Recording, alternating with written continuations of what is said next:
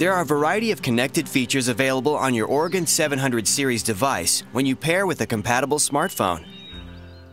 To start, visit garmin.com/apps on your smartphone and download the Garmin Connect mobile app.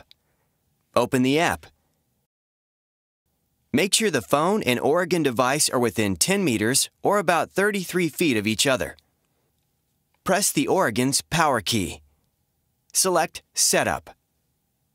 Then Bluetooth. Then follow the on-screen instructions to finish pairing. The device will guide you through this process. Now you can view phone notifications on your device, view weather, and more right from your Oregon.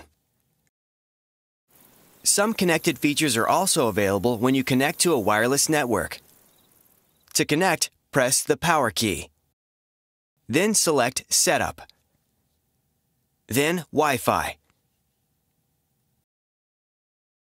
Select Add Network. Choose the wireless network from the list displayed and enter the password if necessary.